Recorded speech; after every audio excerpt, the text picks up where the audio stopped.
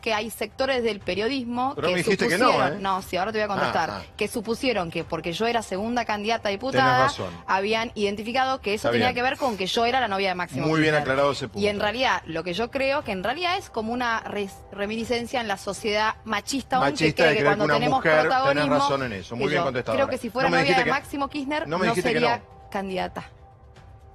O sea, ¿no? Claro. Bien, perfecto. Gracias.